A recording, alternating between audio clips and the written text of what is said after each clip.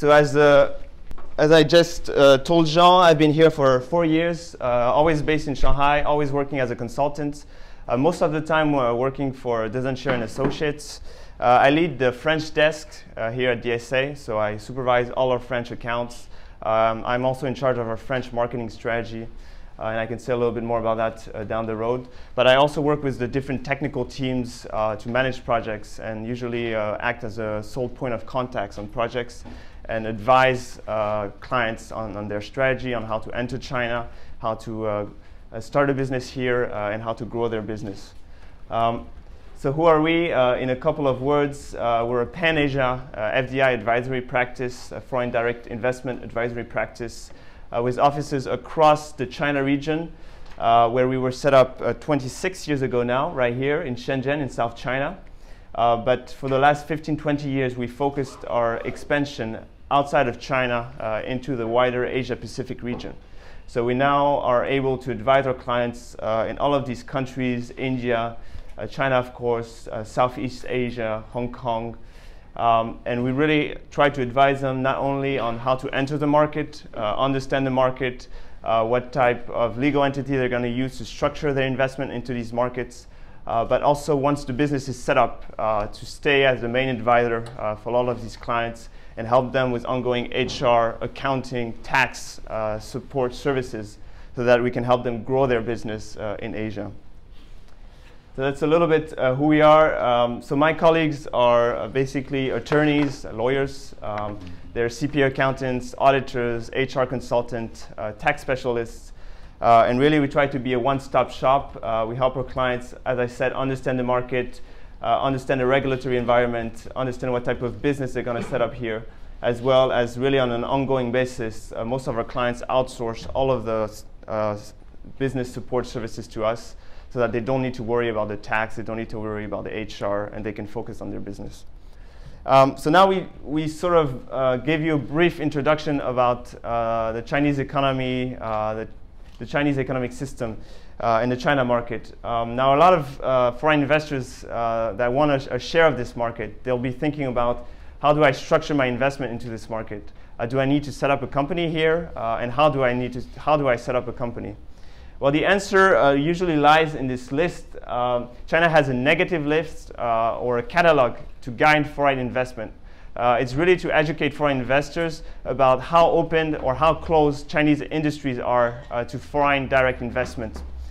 Um, and if your industry falls in this catalog, um, such as you know, commercial, commercial fishing, um, of course, everything related to press, uh, radio, TV, uh, weapons, things like that, everything of strategic invest in interest to the government is completely close to FDI. So you cannot invest in any form in this market, uh, and you're really uh, barred, barred from investing into this market. Um, if your industry falls in the restricted uh, list, and there's 35 industries currently in the list, a notorious one, of course, is manufacturing of automobile vehicles. Uh, to invest in this industry, uh, you need to set up shop alongside a Chinese investor. And that means you'll need to set up a Sino-foreign joint venture with a Chinese company. For example, uh, Renault and Peugeot are in a JV with Dongfeng. Um, but all the securities companies, insurance, all of the financial uh, services industries, sorry, um, a lot of uh, education companies as well uh, have invested in China in the form of a joint venture. And we'll talk a little bit more about the joint venture as this presentation progresses. But the good news uh, for uh, foreign investors is that by far, uh, the, by far the highest number of industries are considered as encouraged. 348 industries uh, are considered as encouraged.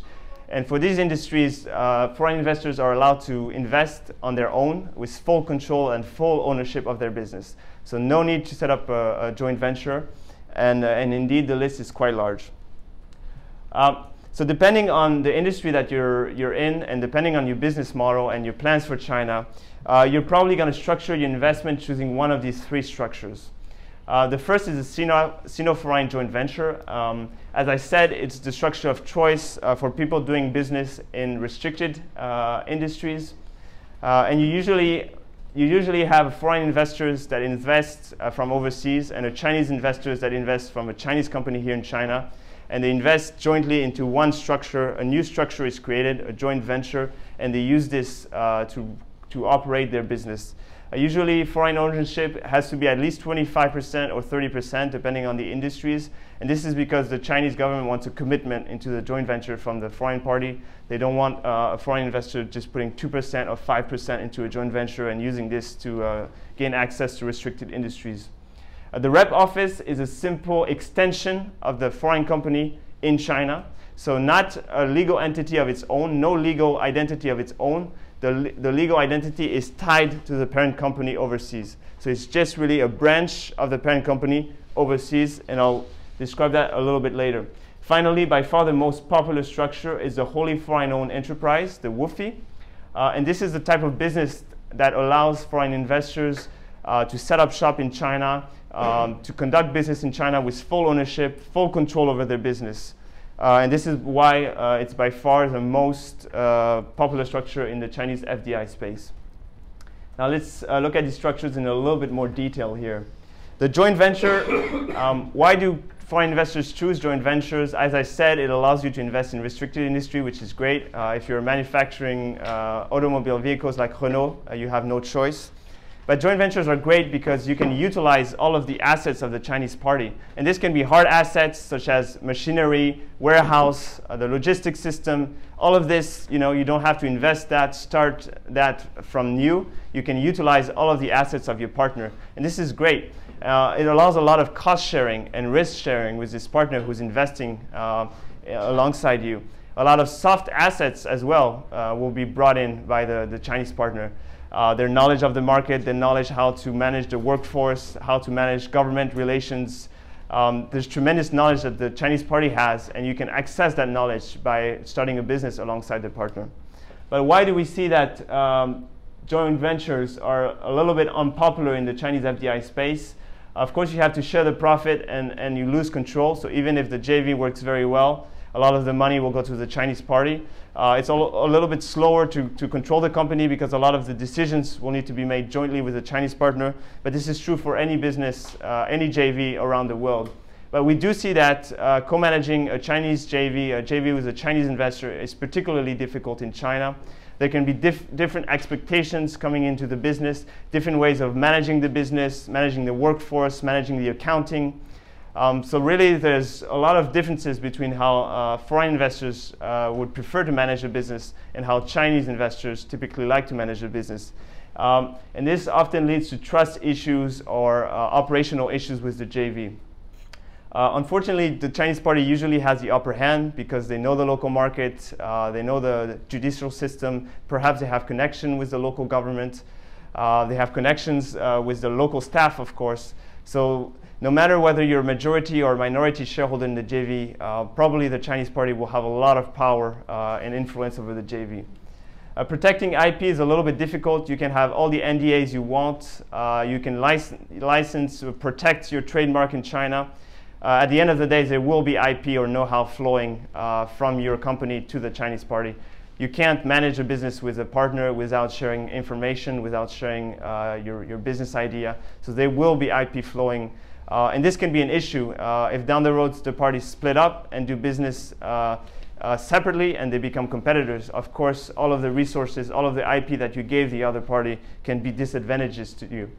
and finally, the biggest, I think, issue with the JV, and we see this time and time again, time and time again, is that if there's an issue with the JV, uh, it's very difficult uh, to keep the JV operational. Um, it's very difficult to close down the JV because for a lot of the key decision making, uh, you need to do it jointly with the other parties. You need the signature of the other party.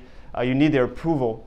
And that's true even for uh, closing down the company uh, or for exiting out, selling your assets, selling your equity in the business you need the other party's approval. So if the two parties stop talking to each other or enter into a situation of conflict, you have this deadlock issue. And not only is the, the JV useless um, from the operational perspective, but you can't even close it down from the legal perspective. And I'm currently uh, working with a French business school, actually. Uh, they're structured as a JV in China here in Shanghai and they're by far the majority shareholder of the JV. But because of the corporate governance, how they designed the corporate governance, they gave all of the control to the minority shareholder because he's the person on the ground. So they thought, you know, he needs to have the keys to the business, right? Otherwise, my business will be too slow if I have to approve things from France. So they gave all of the power, the decision making to this minority shareholder. And now they're in a, a, a situation of conflict and even the majority shareholder owns more than 70% of the business. They cannot close the business. They cannot sell their, their, their shares of the business.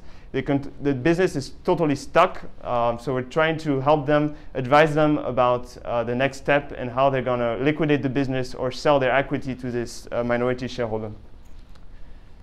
Uh, the rep office, as I said, is a very simple structure, the most simple structure uh, that a legal, that a foreign investors can set up in, in China. It's just an extension of the foreign business in China. Um, and it's great because uh, it's very quick to set up, two to three months. Um, it might not seem like a, a, short amount of time, but in, in the Chinese legal uh, company uh, legal environment, uh, it's actually a very short two to three months. Uh, it's uh, really cost efficient to set up. you don't need to commit registered capital to the business. Um, so it's really a little bit of a risk-free or, or limited risk type of, of option.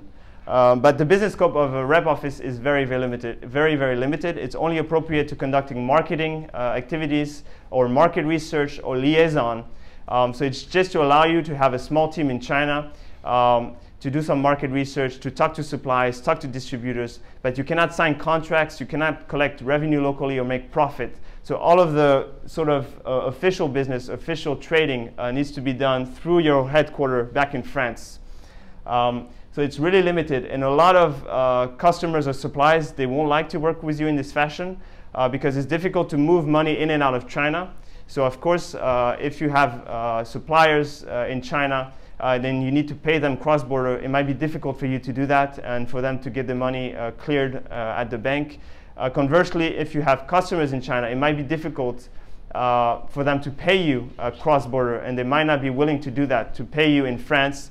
Uh, also, a lot of your customers will ask you to provide a special tax, a Chinese tax invoice called the Fapiao. You'll probably hear a lot about that. Uh, and of course, your French company cannot issue this type of invoice. So a lot of customers will say, if you don't have your formal uh, limited liability company here, we won't do business with you. Uh, and this is where you need uh, this structure here, which is the wholly foreign-owned enterprise. And there's three types of WFOEs. There's a service WFOE. Um, and just like a rep office, uh, you can conduct uh, market research. You can have your team here. Uh, you can do a lot of consulting-related services and marketing-related services. But the big difference is that you can sell these services. So Consulting companies such as Dezan Shira and Associates, we are structured as a consulting WFOE. So we can sell our services, uh, we can collect revenue locally, we can issue special VAT invoices to our customers locally. Um, so this is really a, a fully, uh, fully owned, fully operational service company. Uh, if you want to trade products in China, so if you want to import products into China, uh, sell your products in China, or uh, conversely, source products in China and export your products back to France, you'll need a trading WFOE to do that. Uh, and this is really the WFOE that allows you um, to, to purchase products, sell products, and conduct international trade. Finally, if you want uh, a manufacturing plant in China, you'll need a manufacturing WFOE, which is a, the most complicated uh, type of WFOE to set up. Uh, it has the same uh, business scope as a service and a trading WFOE, but on top of that, it can actually manufacture uh, products on Chinese soil. Uh, and that's the manufacturing WFOE. Now, the big advantage of the wholly foreign-owned enterprise, of course, compared to a JV, you have full ownership and control over your business, so that's a big advantage. Um, no need to share the profit, uh, no need to uh, share the decision making. You can do all of that by your, on your own. Um, compared to an RO, you have a much broader business scope and you can actually collect revenue in China and, and do business directly with Chinese customers, so that's a big advantage. Uh, issue invoices, as I said uh, hire staff as well. Because as an RO, because you're not a legal, uh, you're not a legal entity, you can't sign labor contracts. So you need to work with a dispatch agency, uh, such as Dezan Shira or, or FESCO, uh, to sign labor contract with these employees and to dispatch this workforce to your RO. So you don't work with your staff directly from the legal standpoint. Of a, a of course, uh, is allowed to sign labor contracts directly with the employees, whether it's a foreigner or a Chinese. Uh, so it allows you to uh, independently uh, manage your workforce, which is a big advantage. Limitations, compared to an RO, it's more costly and time consuming to set up. You'll need to inject registered capital, so actually commit a minimum amount of investment into your business. There's a lot of flexibility now about how much money you want uh, to commit to the business, but you will still need to make a commitment. Uh, compared to the JV, of course, uh, you're still barred from accessing some restricted industries. I mentioned uh, manufacturing uh, automobile vehicles, for example. Um, so that's one, but there's a certain amount of industries that you're barred from uh, doing business in. Uh, once you set up your business, you'll have this piece of paper, and if you go to a restaurant, you'll see they have to put it on the wall. Uh, and this really shows to everyone uh, all of the key information, the key components of your business. Uh, so the company name, and you'll need to choose a Chinese name um, for your company. The, the Chinese name is legally binding in China, so you can have an English name, but you'll need a Chinese name for your company. Who is the shareholder? Uh, so are you going to invest directly from your French uh, company in Paris, or are you going to set up an intermediary holding company in Hong Kong or Singapore? That's a big question. Uh, luckily, French has one of the best DTAs in the European Union with China. A DTA means double tax agreement.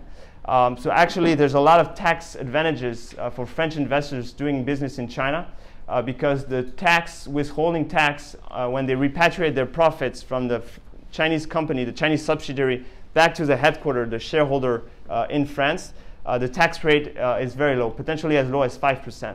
Um, so 5% is the best type of rate that you will get, for example, in Hong Kong and Singapore. So now we see that French companies, they prefer to invest directly uh, into their business and they won't set up an intermediary holding company to become the shareholder of the WOFE. Uh, of course, if you don't have this intermediary holding company, it's a little bit leaner, a little bit more cost efficient, a little bit more quicker uh, to get the money in, get the money out. Uh, and also, it's very difficult now uh, to set up companies in Hong Kong. Even in Singapore, it's getting more difficult. So there's a lot of issues with bank accounts. Uh, Hong Kong banks now don't really like to uh, open bank accounts for foreign companies because of all the compliance um, requirements uh, related to uh, FATCA um, and the Common Reporting Standards, the CRS, uh, which gives a lot of authority to foreign jurisdictions, such as the IRS in the US, to take a look at the bank accounts in Hong Kong. Uh, and, and for that reason, the compliance requirements are very high, and the Hong Kong banks will say, sorry, we don't want to open a bank account for your business. Um, registered address, you'll need to choose an actual physical address somewhere in Shanghai to register your business at. That's still a, a requirement. In Hong Kong, you know, you can use a virtual address or a PO box. Uh, in China, unfortunately, you need an actual office with an actual desk and a door um, to register your company at. So it does increase a little bit the cost, um, and that's something to, to keep in mind. Uh, the legal representative is uh, the most important uh, person that you will choose in your corporate government structure. It's really the person with full authority over your business. The legal rep has a chop of his own, uh, like, a, like a signature. Um, and really, they have full authority of the business. They can empty the bank account, they can sign contracts, terminate contracts, close the business, um, make key changes to the business structure. So, whoever you open, you choose as your legal rep must be someone you fully trust um, really someone that uh, you can rely on um, to protect the interests of the shareholders in China. The good news is it doesn't need to be a Chinese person or it doesn't need to be someone in China. So usually a lot of clients, they will choose someone who's based uh, in the headquarters in France, and that's totally fine. Uh, I talked a little bit reg about registered capital. Uh, if you have a, a WOFE, a limited liability company, you'll need to commit a certain amount of funds into your company uh, and that's registered capital. You can inject it throughout the life of the company, but you still need to commit to a certain amount at the start of the business. Uh, finally, I want to say a few words about the business scope. In some jurisdictions like the US or overseas, uh, you can have a very broad, very wide uh, business scope. In China, they will ask you to be very specific and list the type of business activities that you will conduct in China and secure um, uh, approval on these business activities. And you'll have to write them very specifically to your um, on your business license in the business scope. Um, so this includes uh, what type of products you're going to trade, how you're going to trade. So for example, this business um, can trade a packaged food, but you see, it, it, includes refrigerated and frozen food. But this means it doesn't include, for example, fresh food, all right? Uh, also, they're allowed to do wholesale, import and export, commission agent. That means they can't do retail, for example. So it's not only what you sell, but how you're going to sell it. And this you need to secure approval. And depending on your business scope, you'll need additional license and permits. For example, if you're trading wine, uh, you'll need a business license, but you also need a food operation license, which uh, all F&B business, uh, whether you're a retail or a wholesale business, uh, need to obtain in China. You'll also need a liquor distribution license to give you the right to trade alcohol. So depending on your business, you're likely going to have to secure additional approval, additional licenses, and that's something to keep in mind.